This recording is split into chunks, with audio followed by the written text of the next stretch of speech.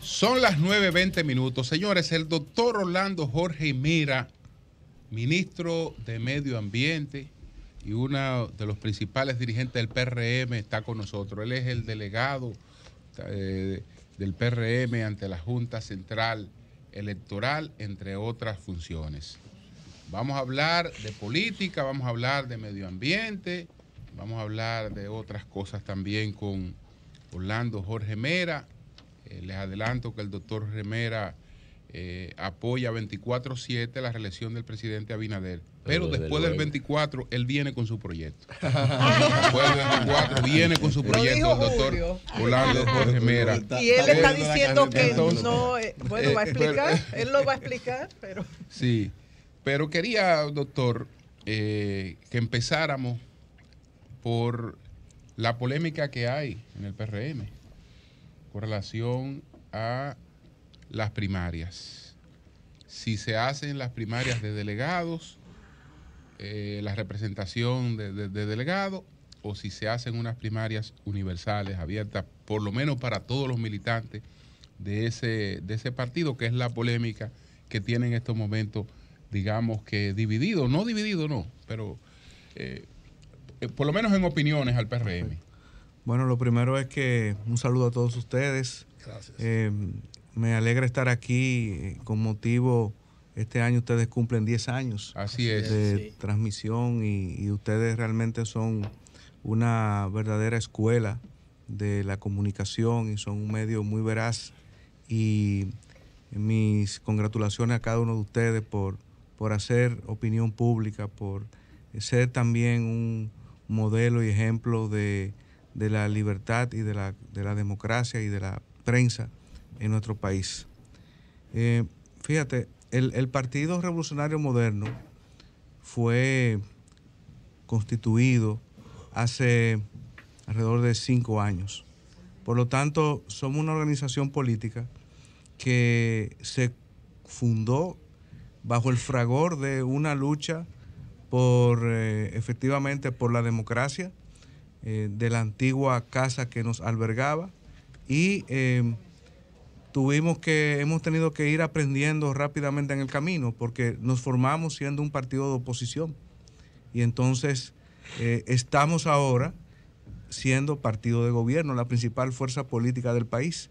Y por lo tanto tenemos que eh, conducirnos en la medida en que hoy día tenemos que entender primero que el PRM es un brazo político del gobierno del presidente Luis Abinader, que tenemos que eh, defender las ejecutorias del gobierno y tenemos que aprender de los errores que otros gobiernos y otros partidos han cometido en el ejercicio de sus funciones.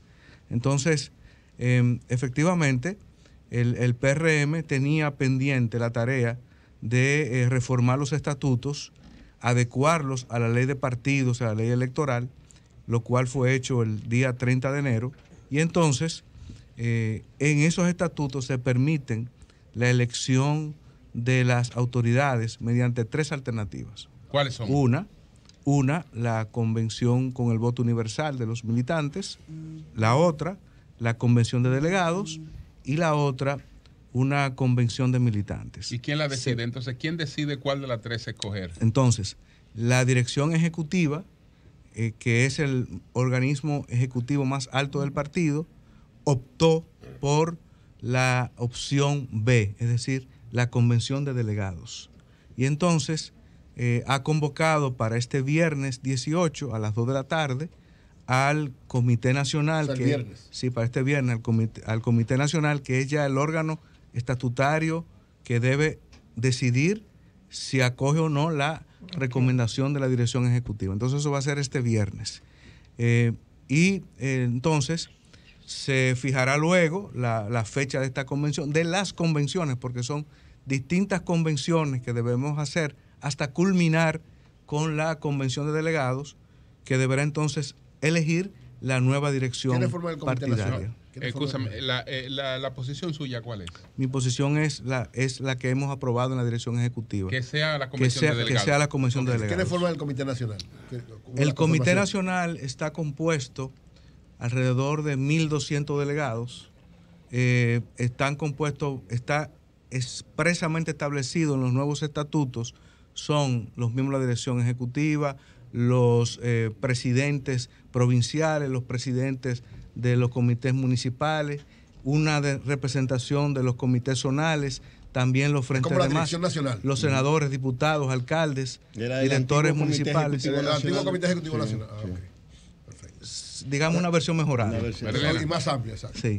Me voy a Sí. medio ambiente conociendo. Ah, no, perdón, No, perdón, yo también quiero hacer política. Pero podemos Sí. alternar, No, porque no lo que no quiero es que Pero, medio eh, ambiente se que no quede al final. No, de no, la medio ambiente es importante, no. Hay, hay, hay espacio, porque sale incluso en el listín, hay espacio para que se cree un problema por esta situación, porque Mira, dice hasta el listín diario está reflejando eso hoy. Mira, yo creo que este es un partido, este es un partido que definitivamente tenemos que madurar, Sí. porque eh, el ejercicio del poder político en República Dominicana implica eh, entender y comprender que los dimes y diretes eh, deben ser canalizados internamente. Ahora, yo le puedo asegurar que por la composición en la dirección ejecutiva, mayoritariamente se aprobó la, la convención de delegados. Sí. Entonces, eh, esa, esa es una, una visión que es generalizada y por lo tanto, eh, independientemente de que, de que habrá compañeros que puedan ejercer su legítimo derecho de, de interponer acciones que, que lo pueden hacer, pero entiendo que los, la- la- lo que hemos hecho ha sido lo correcto y que lo, y, la, y la forma y el fondo lo que estamos haciendo está conforme a la constitución y a las leyes. Usted visitó San José de las Matas, área afectada por recientes fuegos forestales entre los Ramones y las Manaclas. Sí. Entonces tengo tres inquietudes en torno a esto. Habló de una mafia. ¿En qué consiste esa mafia? Dos, sanciones. Los responsables de fuegos eh, intencionales en la Sierra de Bauruco y en otros puntos han sido sometidos a la justicia. Nos hemos eh, quedado esperando esa información. Y tercero, porque ellos se salen con la suya. Es que falta vigilancia. Entonces, la mafia de San José de las Matas, sanciones a través de la justicia y si falta vigilancia.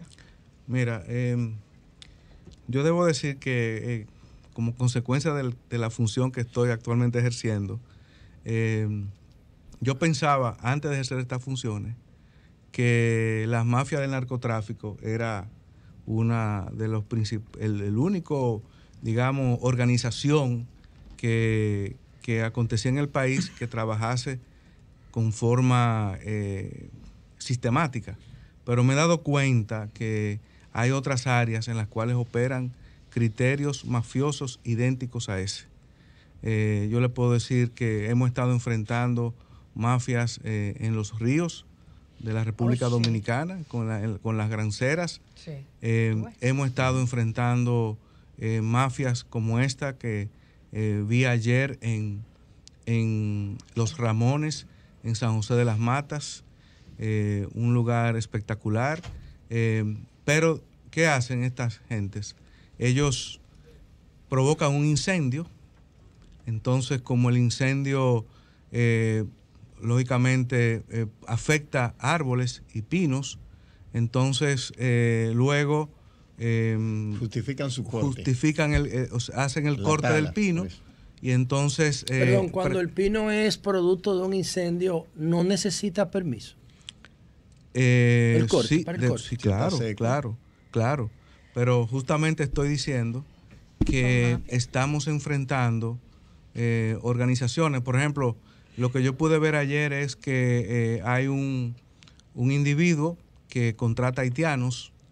Estos haitianos eh, hacen eh, estos incendios y entonces luego viene alguien de mayor jerarquía en términos económicos con los equipos necesarios, hacen la tala. La tala con la- autorización la del medio tala, ambiente. no, hacen la tala y luego van y obtienen un permiso en la escala inferior, o sea, Me refiero De los en forestales. San José de las Matas o en, Wow, o pero en es un- eso es Monción. crimen organizado. Sí, Entonces- sí, sí. Entonces, eh, lo, lo- lo que quiero dejar bien claro es que estamos investigando, tenemos eh, pruebas claras y precisas de, de algunos de los casos y vamos a llegar hasta las últimas consecuencias. Y la Y en duna, Sierra la de entonces, sometimientos a la justicia. la- y también la duna, sí, que, en- que sigue en- sacando la en arena de las dunas. vamos por partes. Sí. En Sierra de Bauruco, en Sierra de Bauruco, Sí. eh, hubo en enero, hubo tres o casi cuatro incendios muy distantes los unos de los otros, que mm, tuvo prácticamente el mes de enero entero los bomberos forestales combatiendo estos incendios.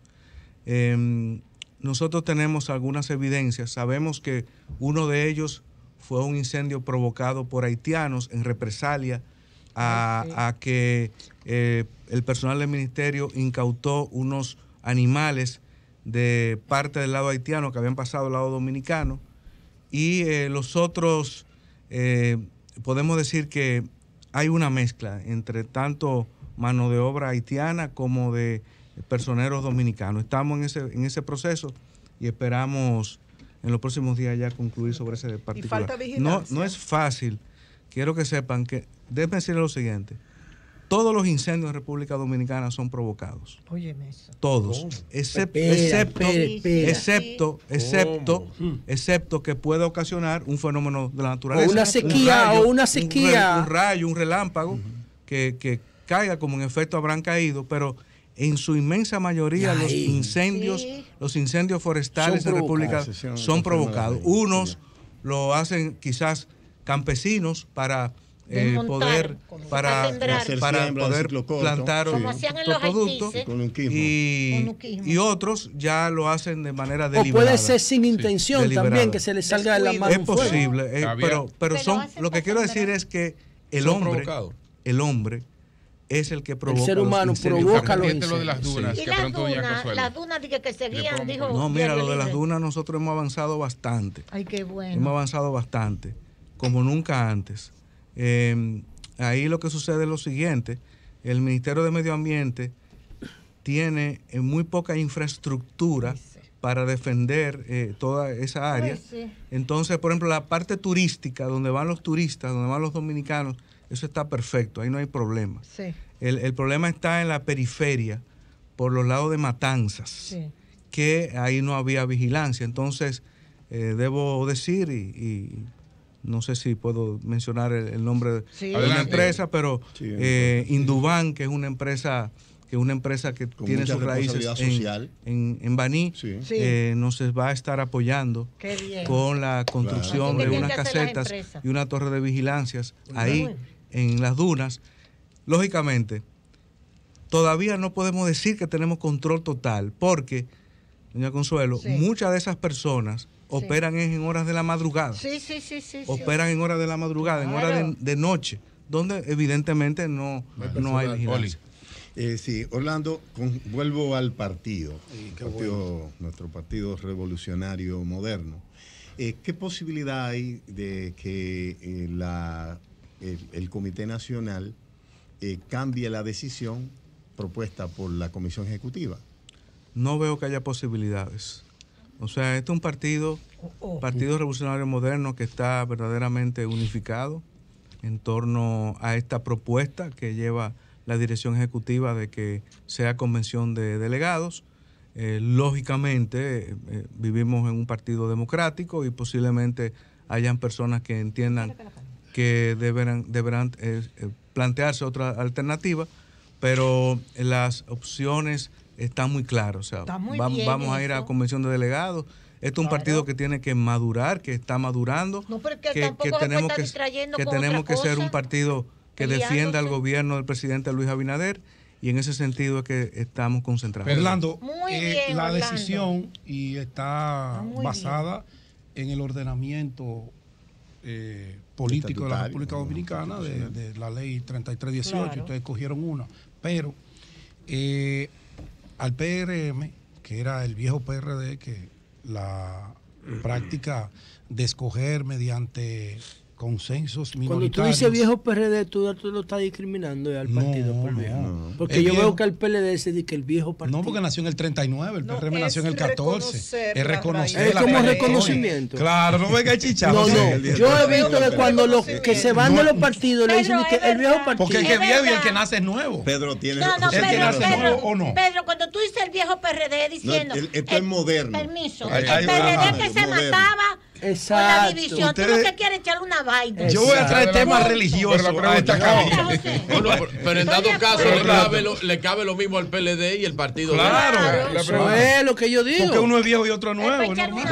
La pregunta. El glorioso. El, el histórico. Entonces, el glorioso. Ahí, ahí sí Saludos le dice el histórico el glorioso. Ahí sí lo está reconociendo. Entonces, Orlando, hay una, una parte importante, un liderazgo importante que encabeza el doctor Eddie Olivares, que incluso esta semana recibió el apoyo de 40 legisladores que son representantes en sus comunidades de una parte importante de la estructura de base del PRM que aboga por un modelo diferente en donde haya más participación de las estructuras.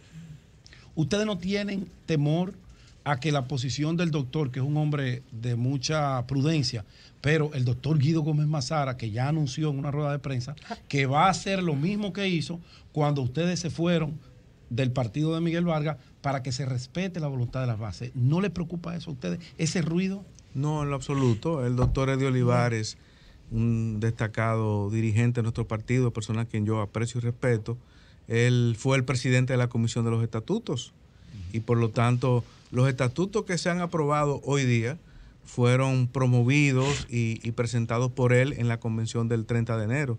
Por lo tanto, eh, él, si hay alguien que está consciente de, de cuál es la forma y, y- y cómo se va a hacer la elección, es el doctor Eddie Olivar. Entonces vamos para una convención de delegados, evidentemente un partido democrático, ahí podrán presentarse todas las candidaturas que sean inscritas en el, en el plazo y en las condiciones que se establezca en el reglamento de, de esta convención. Porque dice Guido, discúlpame Julio, que no es una convención de delegados, sino una convención de la nómina pública. Dice Guido, yo no. Bueno, yo no, ya Pero cada mira- quien puede opinar lo que entiende, Perdón, pero me están mandando es- Orlando. a Rafael Linares que por favor, Ay, no. él dice, esta es una información, no Sí. sé si la conocen, del 29 de enero del 2004. Guido, la convención de delegados no la para nadie. Bueno, Digo ese- Guido en el 2004, que viene para acá, Guido. Sí. Eh, eh, Pero tiene otra, perdón, la corriente de Guido afirma que acreditó a sus delegados para la convención. Este en el después. 2014. Sí, es un problema Gracias, Rafael Linares, que, te lo, Linares. que te lo Eh, dijera. Eh, Orlando, sobre la Junta Central Electoral y el asunto con eh, el sistema de cómputos, el departamento de cómputos, ¿está ya eso resuelto? ¿Quedó afinado? ¿Todos los partidos están de acuerdo con la Junta, con lo que tiene que ver con, con los cómputos? ¿Cómo va ese proceso? la Junta Central Electoral hizo una propuesta de la nueva estructura de, la Dirección de Informática. Eh, los partidos, incluyendo el PRM, presentamos nuestras observaciones y entonces estamos en espera ya de la decisión final sobre cómo será la, nueva estructura de la Dirección de Informática. Porque fíjate lo siguiente, eh, es clave y determinante para todos los partidos, para la democracia dominicana, que la Dirección de Informática se reúna con todos los mecanismos de, de transparencia y de participación necesaria. Y nosotros confiamos en la Junta Central Electoral para ese propósito. Ese- José, ese pla- ¿Se han establecido un plazo para eso? Para... Ya, ya los plazos están vencidos, ya está en manos ahora de la Junta de tomar la decisión final con respecto a la nueva estructura de la Dirección de Informática. José, ¿Qué pasa con el tema de el río Jaina? Que hay una denuncia hoy en la prensa de que se siguen excavando zonas inapropiadas para extraer materiales de construcción, la grancera. Bueno, mira, eh, ¿tú recuerdas al coronel Palavé? Sí. Sí, claro. ¿Eh? Ese, ese coronel está sometido a la acción de la justicia por nosotros, por extracción en ese mismo río. Parece que hay otro coronel ahora ya. ¿Eh? No, lo que te quiero decir, lo que te quiero decir es que eh, eh, ese es un ejemplo de lo que nosotros estamos enfrentando. nosotros estamos enfrentando es a militares pasados, presentes, políticos del pasado, del presente, pero nosotros no tenemos miramientos, empresarios, nosotros no tenemos miramientos. Eh, porque en cuando se trata de materia de protección al medio ambiente y recursos naturales, somos todos dominicanos. Barrigol te pregunta. Perdón, pero en el Entonces- caso del río Jaina hay entonces, una vigilancia lo- permanente. lo que te ¿Qué? quiero- ¿Por qué no ponen cámara hablando en los ríos los para, monitorear? Cámara, porque- si tú pones cámara desde, desde medio ambiente, yo puedo saber. Sí, pero fíjate, Como un centro de control de monitoreo. La- las cámaras son los ojos de los fíjate lo siguiente, fíjate- Oye, de noche también. adelante, Mira adelante. qué mira pregunta más interesante tú me has hecho. Resulta que, y, y no me gusta mirar hacia atrás, pero tengo que decirlo para que se comprenda lo que nosotros estamos manejando actualmente.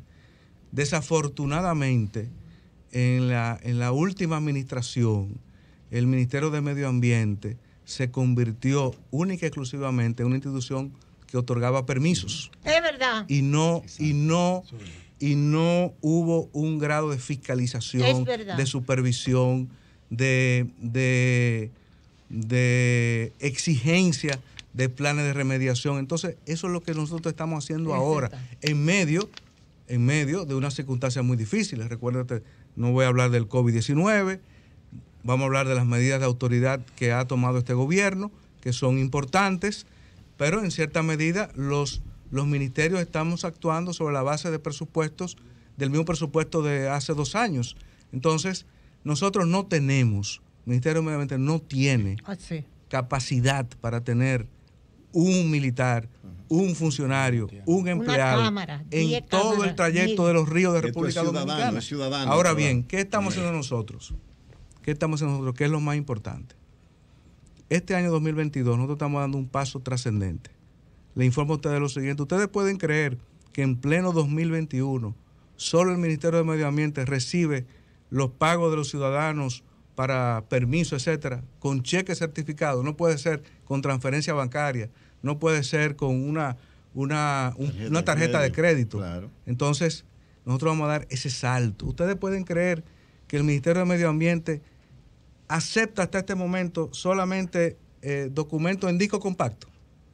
Cuando ya no O se sea, que usa. está compacto. atrasadísimo. Usted, tú, tú, tú que sabes de tecnología, que- Un tú que sabes, No, no, disco No, compacto, tú que- CD. CD, tú que sabes que que- ya uno ni lo usa. que No, el CD no se usa, cuando las ya el streaming computadoras- mató el No CD. las computadoras ya no tienen. Y los USB. Entonces, USB. no, entonces nosotros Los estamos ahora. ¿Qué hemos hecho nosotros? ¿Qué hemos hecho nosotros? ¿Qué hemos hecho nosotros?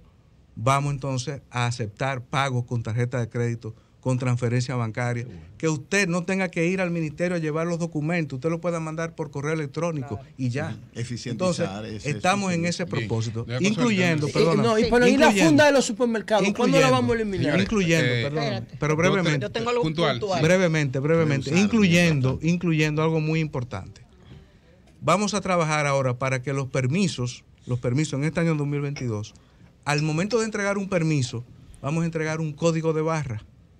Por ejemplo, si un permiso de extracción de materiales, eh, usted tenga la obligación de poner ese código de barra en un sticker en el camión, de manera que si usted está pasando por la calle y se encuentra con un camión, Usted lo puede escanear y ver foto. cuáles son los límites del, permiso. Bien. Exactamente. Sí, Ramón. Mercedes te escribe, Ramón Mercedes, nuestro compañero, y dice Barry Gold Sí. y la presa de cola de Barry informarle, déjeme informarle. Sí, señora, Sí, adelante. es un tema, es un tema importante. Sí.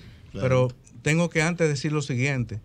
Eh, la Barrigol no es una empresa nueva. Claro. Es heredó el pasivo ambiental de la Rosario Dominicana.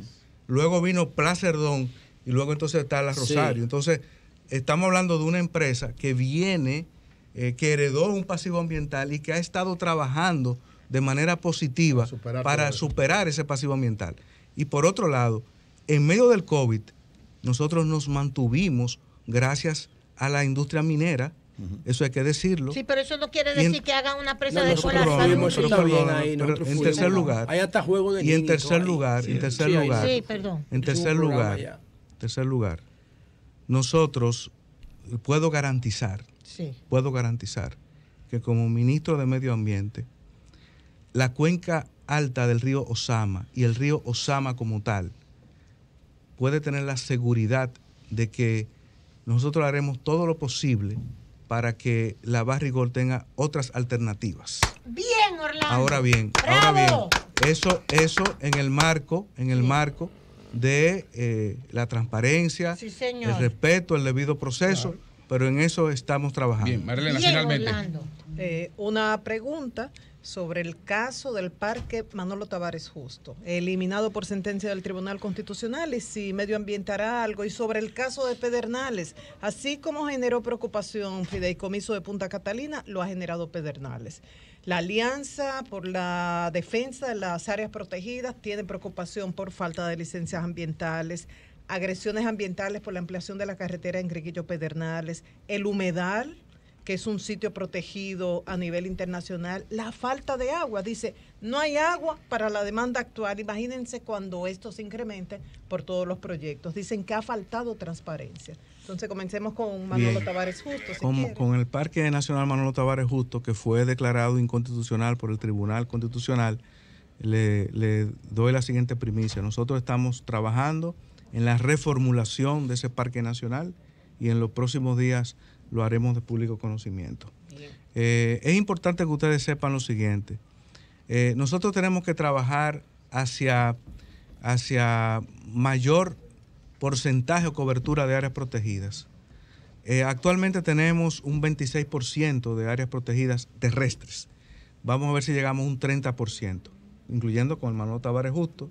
Vamos a incluir Sabana Clara en, en restauración, que es un lugar bellísimo y pre- precioso, entre otros. Entonces, con, tenemos que proteger también nuestra, nuestras eh, especies marinas, Sí. nuestros corales. Entonces, actualmente tenemos alrededor de un 13% de cobertura. Tenemos que llegar a ese 30%. No tiene que ser hoy ni mañana, pero Ok. nuestra ruta y, y compromiso es, trabajar hacia el caso 30-30. Pedernales. Entonces, con respecto a Pedernales, eh, importante, o sea, lo primero, Cabo Rojo no afecta áreas protegidas. Las áreas protegidas son eh, Sierra de, de Boruco y Parque Nacional Jaragua, que están Y el intactas. Perdón. Pero vamos por parte, vamos a ir por parte. Entonces, segundo, el, el- el- quien está ejecutando el proyecto de Cabo Rojo es la Alianza Público-Privada, la Dirección General de Alianza Público-Privada, está ahora en el proceso de, de presentación de eh, el Plan de- master, del el master plan. del master plan, no, pero también del estudio de impacto ambiental. Entonces, ya se celebró la vista pública hace un- una o dos semanas. Ahí se acopió toda la información. El Ministerio de Medio Ambiente estuvo presente en esa vista pública, pero ahora tenemos que darle la oportunidad a que la Dirección General de Alianza Público-Privada presente al Ministerio el estudio de impacto ambiental para nosotros entonces evaluar el proyecto, hacerle las observaciones del lugar, tal como usted señala que hay varios aspectos que tenemos que tener el debido cuidado. Entonces, le estamos dando seguimiento al tema. Bueno, pues muchas gracias al doctor Orlando Jorge. Mera, ministro de Medio Ambiente. Muchas gracias, Orlando. Muchas Y gracias. la reelección del presidente. Cambio y fuera. Sí,